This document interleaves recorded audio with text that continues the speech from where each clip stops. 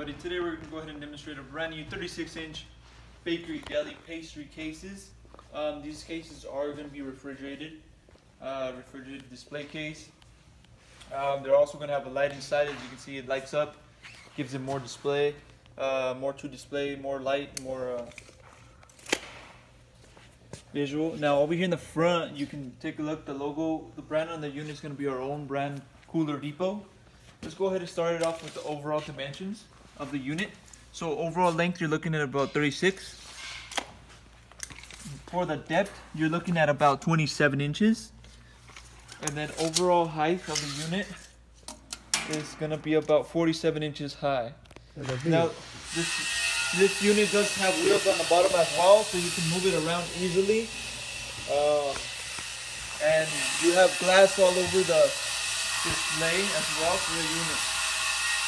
Now if you follow me over here in the back, you locate um, your panel over here, temperature panel. It is a Dixell panel, so right there you can set your temperature. It has a defrost switch as well, all that right there. And then you have three switches right here. You got one for refrigeration, to turn on the refrigeration. You got the lighting switch, and then you got a third switch over here.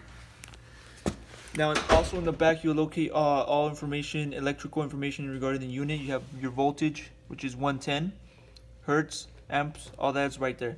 This unit is standard, has a standard plug, so it, is a 110 unit standard plug. It also has a, you know, the stainless steel touch on the bottom.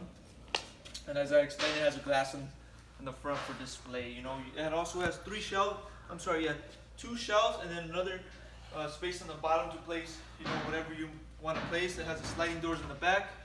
Another, let's go ahead and give you inside dimensions of the unit. So front to back, you're looking at about 23.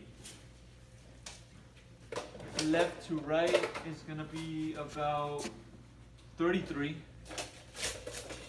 All right.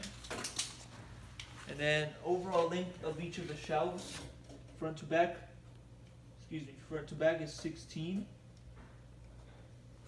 Top shelf is gonna be about about 13.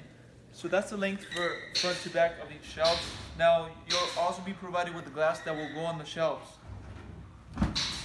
Glass will be on the bottom over here. And there's also a, a operating manual book on the unit.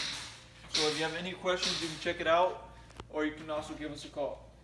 Uh, for more information on the unit, go on our website, coolerdepotusa.com. We update all information regarding the unit, including the price and more pictures. If you have any other questions regarding the unit, uh, feel free to also give us a call and we'll help you guys out. Thank you for watching.